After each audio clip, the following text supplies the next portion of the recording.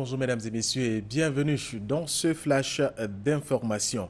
La première dame de Côte d'Ivoire, Madame Dominique Ouattara, a procédé lundi soir au lancement d'Abidjan Ville Lumière avec l'illumination du pont Henri Conan Bédier. Madame Ouattara a souligné le caractère fédératif de cette initiative qui est à sa quatrième édition. La cérémonie s'est déroulée sur l'esplanade du pont Henri Conan Bédier, un projet ambitieux réalisé par le président de la République Alassane Ouattara.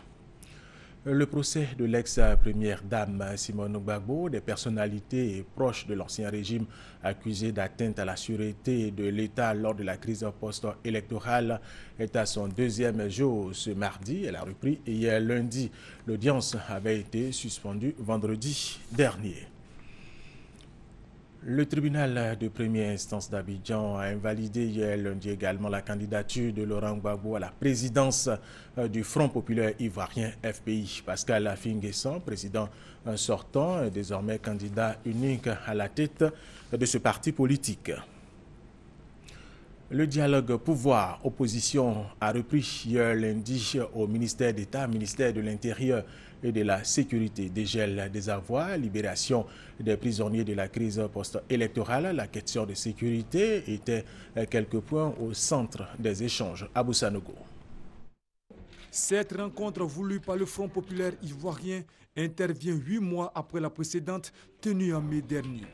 C'est juste une prise de contact pour rétablir le dialogue entre le pouvoir et l'opposition sur divers points à débattre dès 2015 qu'il s'agisse des problèmes des prisonniers, du problème du, dégel des comptes, du problème des exilés, euh, du problème du financement des partis, de la sécurisation du, territoire, de l'accès de l'opposition aux médias d'État, de la préparation des élections générales de 2015.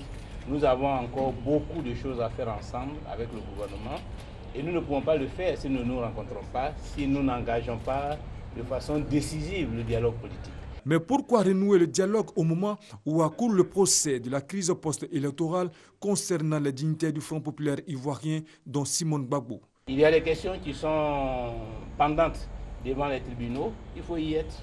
Mais en même temps, cela ne, ne doit pas nous couper du gouvernement, puisqu'il y a encore d'autres questions qui sont à régler. Et ces questions ne nous concernent pas personnellement, mais ce sont des questions qui concernent la Côte d'Ivoire, qui concernent la vie et le sort de nombreux Ivoiriens. Donc nous ne pouvons pas prendre prétexte du fait que nous-mêmes, personnellement, nous sommes en procès pour nous détourner de toutes ces questions.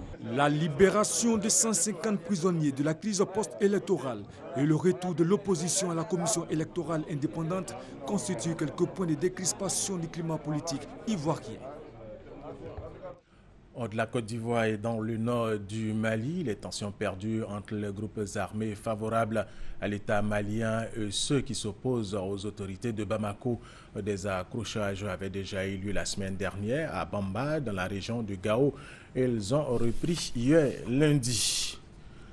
Au Cameroun, le calme est revenu au camp d'Ashigashi dans le nord du pays après les combats de dimanche contre le groupe islamiste nigérien Boko Haram. L'armée camerounaise a eu recours à des bombardements aériens. Les combats ont été particulièrement euh, intenses. L'armée avance un premier bilan de huit soldats disparus. Le bilan des pertes dans les rangs des assaillants serait très très lourd. L'avion de la compagnie Air Asia qui a disparu dimanche s'est écrasé dans la mer de Java. Les débris de l'avion ont été retrouvés par un avion de l'armée de l'air de l'Indonésie. C'est la fin de ce flash d'information. Merci de l'avoir suivi. Je vous retrouve à 13h.